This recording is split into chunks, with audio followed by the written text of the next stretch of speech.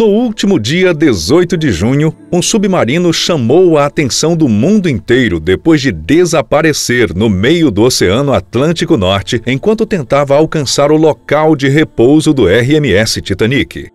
Algum tempo depois, foi anunciado oficialmente que o veículo havia implodido por conta de falhas na sua estrutura, criando uma grande discussão sobre a segurança desse tipo de veículo. Eu sou Roberto Barreto e hoje você vai conhecer um pouco mais sobre o submersível Titan e a empresa Ocean Gate, que organizava a expedição que terminou com a morte de cinco pessoas.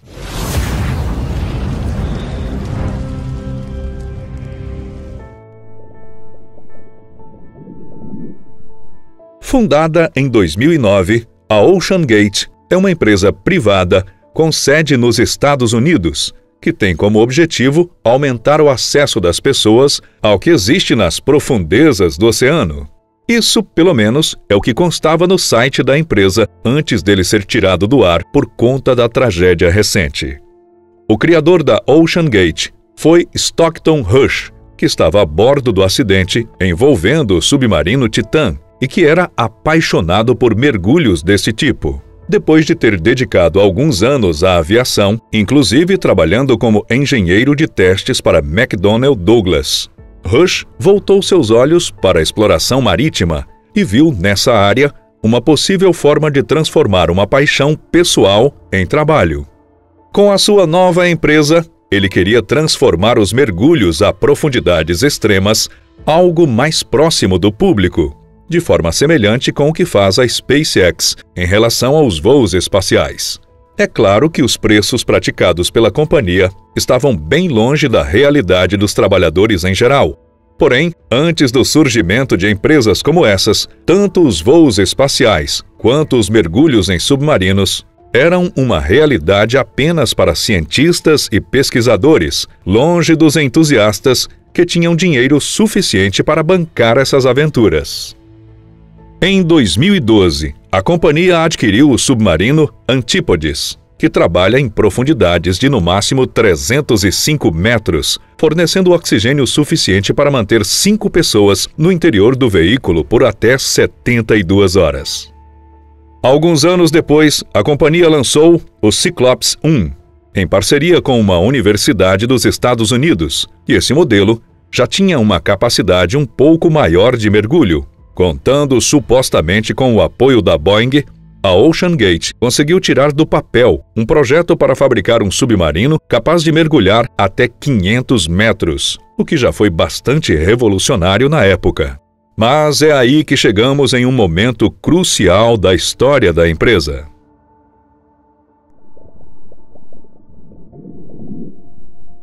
A ideia de criar um submarino usando fibra de carbono já era um sonho antigo da Ocean Gate, e isso fez parte até mesmo dos primeiros projetos do Cyclops 1.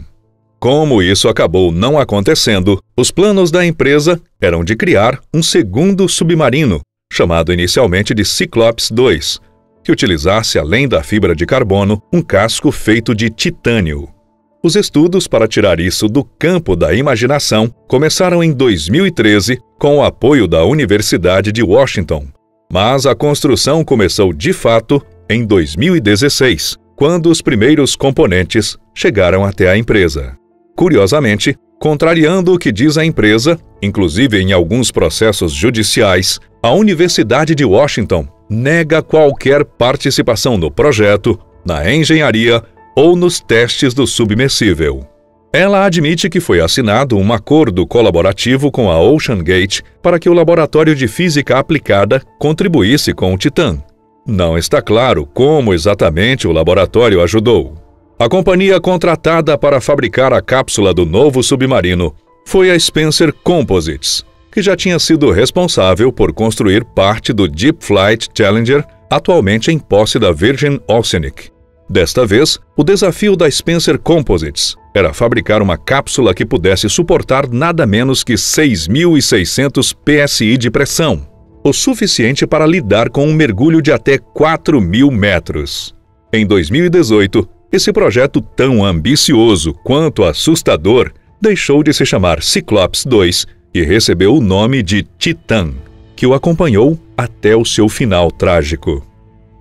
Além do alegado apoio da Boeing e da Universidade de Washington, a Ocean Gate diz ter contado até mesmo com cientistas da NASA para concluir o projeto, que utilizou materiais muito mais modernos do que os empregados em submarinos anteriores para criar um modelo que prometia ser mais econômico e eficiente. Feito com fibra de carbono e titânio, o submarino tinha um formato de cápsula e pesava pouco mais de 10 toneladas. Ele permitia, além do piloto, a presença de quatro tripulantes que se aconchegavam como podiam no interior do submarino, que tinha 6 metros e 70 por 2 metros e 80. No que diz respeito à sua velocidade, o Titã podia alcançar no máximo em torno de 5,5 km por hora. Pode parecer pouco, mas para a realidade dos submarinos é uma velocidade bem considerável. Em situações normais, o Titã tinha 96 horas de autonomia para fornecer oxigênio e as demais condições necessárias à segurança dos tripulantes. Mas muita gente defende que ele não era tão seguro assim no fim das contas.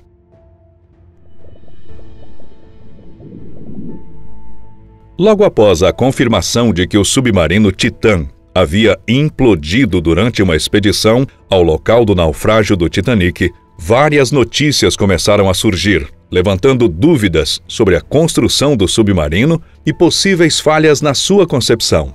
Um dos funcionários envolvidos na construção do Titã revelou em entrevista que os materiais utilizados no submarino eram, no mínimo, inovadores e controversos. A fibra de carbono, apesar de ser bastante utilizada na fuselagem de aviões, ainda não conta com testes amplos e conclusivos no que diz respeito a mergulhos assim tão profundos.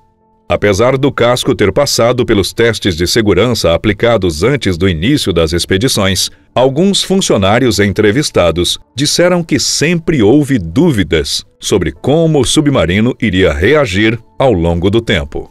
Mas o que de fato aconteceu com o Titã? Quem já teve a oportunidade de mergulhar por alguns poucos metros, certamente já experimentou aquela sensação chata de ter os ouvidos estalando ou até mesmo fechando completamente. Isso acontece por conta da pressão exercida pela água no corpo humano, que pode acabar tendo consequências sérias em situações extremas. No caso do submarino Titã, o plano da expedição era chegar até o local onde repousa o que restou do RMS Titanic, naufragado em abril de 1912. Isso significa que o veículo precisava alcançar uma profundidade de nada menos que 4 mil metros, muito mais do que o nosso corpo, assim como vários outros materiais, pode suportar. De acordo com os cientistas que comentaram o caso, Defeitos no casco do submarino provavelmente fizeram com que ele não suportasse a pressão da forma esperada, causando um fenômeno conhecido como implosão. Os pesquisadores que decidiram falar sobre o caso são enfáticos ao dizer que tudo isso aconteceu em uma questão de segundos, sem que nenhum dos passageiros tenha sequer imaginado o que estava acontecendo. Com a implosão do submarino, as paredes do próprio veículo esmagaram os passageiros instantaneamente, espalhando pedaços minúsculos dos corpos por todas as direções.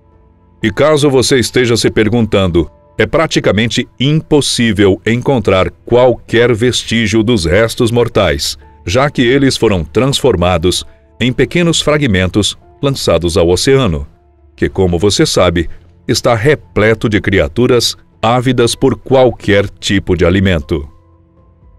O vídeo de hoje vai ficando por aqui. E se você gostou de mergulhar nesse assunto junto com a gente, não esqueça de deixar o seu like e se inscrever no canal. Ao lado, deixo o vídeo onde eu conto a história do Titanic. Te espero lá.